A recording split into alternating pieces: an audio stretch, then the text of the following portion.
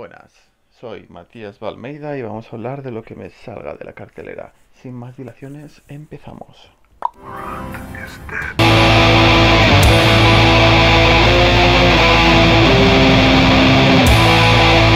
Y venimos a hablar de lo que me salga de la cartelera. En este caso venimos a hablar de Venom, esa película tan esperada de Sony para esas marvelianos y marvelitas que estaban esperando esa película. Yo ya la he visto y voy a hacer una reseña. Una reseña sin spoiler.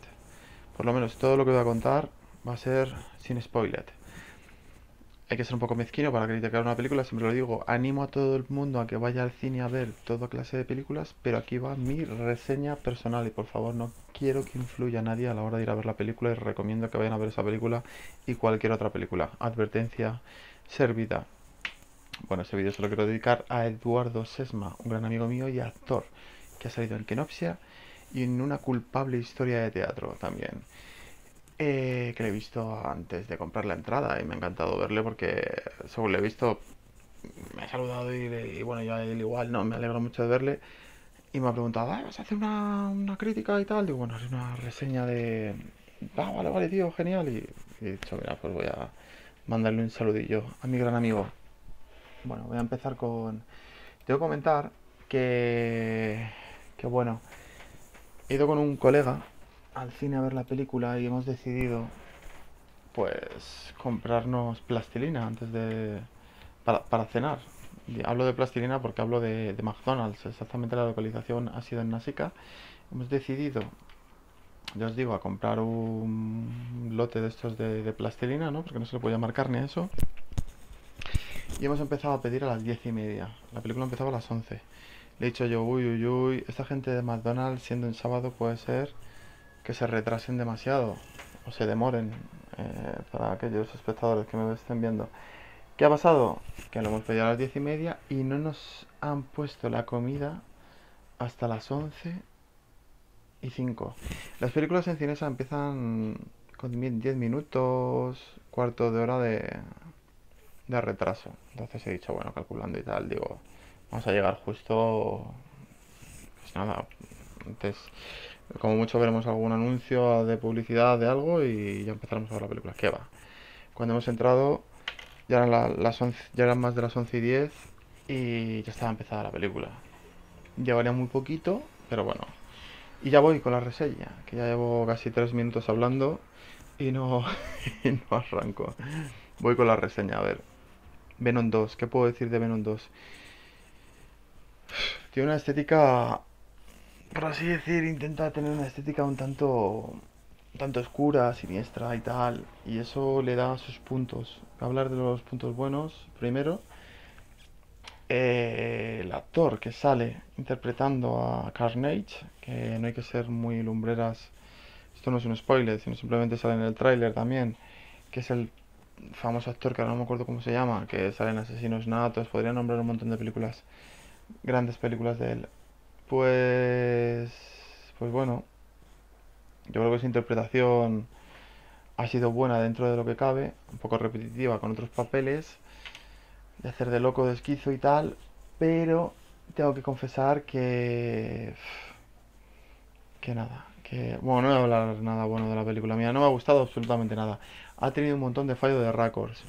Eh, cuando te fijabas en el papel donde ya no recuerdo ni cómo se llama Harvey, Harvey se llama, ¿no? Es que me quedo medio dormido. Bueno, yo según estaba viendo la película he visto un montón de fallos de récord. Por ejemplo, en, las cosas de cuando está hablando el protagonista, está hablando con la chica esta que estuvo saliendo con Heath Ledger, que le quitó lo de la custodia, luego Heath Ledger empezó a tomarse las pastillas, Heath Ledger murió y, le echaban la culpa a, la interpretación del Joker cuando realmente como no puede ver a su hija bueno os recomiendo que veáis el documental de I Am Heath Ledger que ahí hablan la gente que quería Heath Ledger y comprenderéis qué pasó con Heath Ledger bueno no me gusta nada esta actriz la, la, ex de, de Heath y una de las escenas cuando sale el protagonista hablando con esta chica pues se le ve a este tío que tiene un pelo de una forma, luego de otra, luego de una, luego de otra. Los fallos de Raccord, que digo yo, oh my god, más fallos de Raccord. No voy a hacer ningún spoiler, pero sí voy a hablar de una localización donde se encuentra Venom. De repente Venom se va a una discoteca de trap con dos cojones. O sea, vamos a ver. Venom, eh, su mayor enemigo es el ruido. El trap es ruido. Porque es así. Yo no lo considero ni como música, pero bueno, eso ya... Entonces, ¿por qué está el tío ahí? Encima da un mitin así de pancarta y tal, y que ya digo ya, tócate los pies. O sea, esto ya, ¿esto qué es? No sé, no me ha gustado nada la película, era fallo tras fallo, fallo tras fallo. ¿Algún puntillo? Pues sinceramente, yo creo que todos los guionistas estaban de vacaciones o, no, no sé, no sé qué, qué, qué ha pasado con esta película. Mucha gente dice, supera la primera. A mí la primera me pareció un desastre también de película. Esta me pareció un desastre también. ¿Recomiendo que vayáis a ver la película? Sí, sacar vuestra propia conclusión. A mí no me ha gustado nada. Ya os digo, no me ha gustado absolutamente nada. Y de lo que viene a ser de Marvel, de todo lo que se anuncia de Marvel, eh, los Eternals, eh, también, yo veo el tráiler y es como... ¿Y qué? Yo creo que ya todo lo que tiene el manto de, de Disney, eh, pues a mí, por ejemplo, no, no, no me agrada. Ya no tiene ese toquecillo de, de, de violento y tal. Yo sé que no tiene nada que ver con Marvel Studios, eh, esta película de Sony, que a lo mejor puede ser que, que Marvel Studios, cuando vea que no tiene un duro y tal, y todo el rollo este, como hizo con Spider-Man, que compró los derechos y bueno, estuvieron ahí pegándose, dándose de hostias, eh, pues a lo mejor que quieran volver, que quieran hacer un crossover con, con Venom y con Spider-Man y tal, ¿no? Aunque hace poco dijeron que ya Spider-Man iba a volver a salir más en el universo de, del UCM. Así que, uff, sinceramente, veré la película, la película de Spider-Man, como veré que... Ah, bueno, no, miento, miento. Dicen que no volverá a salir Spider-Man, pero claro, en la de Doctor Strange sale Spider-Man. Así que tantos rumores, rumores, la la la la la la. Bueno, no recomiendo. Yo, sinceramente, si queréis ir a ver esa película, ir a verla. Tenéis películas más buenas en cartelera. O sea, no voy a decir exactamente cuál, porque tampoco quiero boicotear a Venom. Y quien quiera verla, que vaya a verla. Está claro. ¿Qué más podría decir de la película de Fallo de Raccord? Ha tenido alguno que otro. Eh, veréis una de las veces cuando Carnage va a una localización, de repente coge algo que, que quiere y que necesita, empieza a cargarse a, bueno, ciertas cosas y tal. Si queréis parar, si no habéis visto la película y no queréis un mínimo spoiler, pero bueno. Y de repente se ve que se va con un coche, de repente ya luego se ven otras imágenes con The Venom haciendo otras cosas por aquí, por aquí por allá. Y luego de repente aparece Carnage andando, saliendo de ese sitio donde lo han explotado, pero si hace un rato salió en coche. ¿Qué es eso? Qué falta de, de, de- organización, por Dios, qué, qué, qué- qué montaje, qué- qué- qué ha pasado, qué ha pasado. Lo único que podemos decir, eh, que he dicho, bueno, mira, un guiño a Stan Lee, que han hecho un guiño a Stan Lee, que salió en una revista y tal. Eh, le han puesto muy poco, lo han puesto porque luego enseguida han ampliado el plano y ya no se le veía. Era como, uff, todo súper fugitivo. Sigo pensando exactamente lo mismo. Se lo decía a un amigo, a, Ismael S. Revolution, que por ejemplo pon- pondré aquí abajo su canal, que suele poner bastante trailers. Incluso lo estaba hablando con él, digo, joder, macho. Él ha tenido la oportunidad de ver el DC, el DC Fandom. Yo he estado viendo eh, Venom, que la podía haber visto cualquier otro día, la podía haber visto el día del estreno y no la vi. Pero tenía que haber visto el DC Fandom. Y bueno, ¿qué deciros? Sigo diciendo que de estos últimos 15 años la mejor película de superhéroes, que más bien es de villanos, haciendo de superhéroes, para mí es El Escuadrón Suicida, dirigida por James Gunn, esta última que han hecho. Para mí es lo mejorcito que hay. Tenemos gore, tenemos eh, buenas risas, porque, a ver, sí, eh, digamos que siempre por intentar hacer la gracia, la, gracia que le sale muy bien a Marvel es poner los típicos chistecitos fáciles para que todos nos riamos y tal. Pero yo en esta de Venom me he reído, no, he hecho un par de veces, ¿no? Por, por decir algo. Pero no sé, no me, no me ha gustado nada, absolutamente nada. Sí os recomiendo El Escuadrón Suicida, ya no lo vais a poder ver en el cine, yo creo, a no ser que sea un cine de estos que esté poniendo películas poquito atrasadas. Es la pena de los streaming. En Instagram lo decía hoy. Eh, sí, tanto meto en el saco a todo el mundo. Netflix, HBO, todas estas... eh, a todos, a todos, le meto a todos en el, en el saco. No dejan de ser películas un poquito mejor que las que ponen en la televisión pública después de comer a las tres y media, eh, Antena 3, por ejemplo, un poquito mejor. Y luego es muy difícil encontrar una buena película en, pues en Netflix, en Amazon. Tienes que estar un buen rato hasta que lo encuentras. ¿Qué ha pasado, Venus?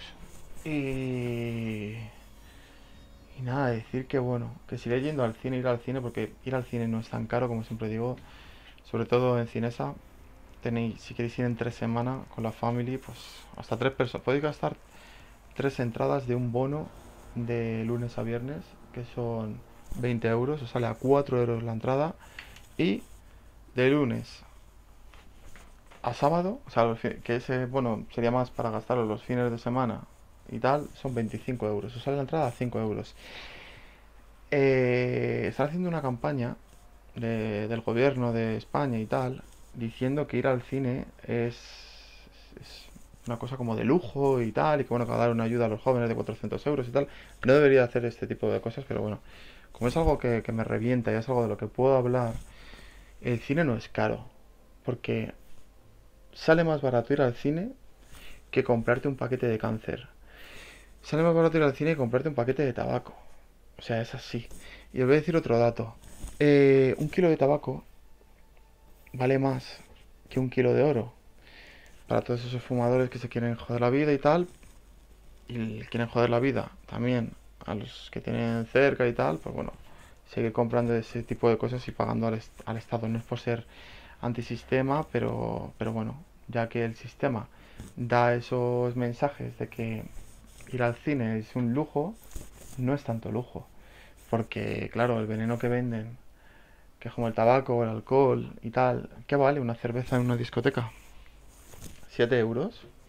¿Cuánto te puede durar una cerveza? No sé. Ah, si la apuran mucho, a lo mejor media hora, eh, 40 minutos. Gente que se puede tardar más en beber una cerveza, ¿no? Por supuesto, hay gente que se la bebe de trago. ¿Cuánto puedes tardar viendo una película? ¿Dos horas? Sí, puedes pasártelo bien, mal, tal, lo que sea, pero yo veo que, que es cultura. Dentro de lo que cabe, que sí, que luego muchas películas que son muy, muy, muy iguales. Venus, ¿qué pasa, tía? A ver, ¿quieres salir aquí o qué? Ven aquí conmigo. Cariño. Y... Pues eso. Ir al cine, que es cultura, que el cine, que el cine mola. Y digan lo que digan los políticos, no hagáis ni caso. Otra cosa, seáis de la ciudad que seáis, podéis contactar conmigo, Matías Balmeida, en Instagram, que yo me encargaré personalmente de que las entradas os salgan súper baratas. Os puedo aconsejar sobre, sobre películas si queréis y tal, pero, pero ir al cine. ¿A qué sí Venus? ¡Sí, ir al cine! Porque, porque sí. O sea, no hagáis, no hagáis caso a, a los politicuchos. Sin más dilación, me despido. Que, porque sí, porque soy Matías Balmeida y hablo de lo que me sale de la cartelera.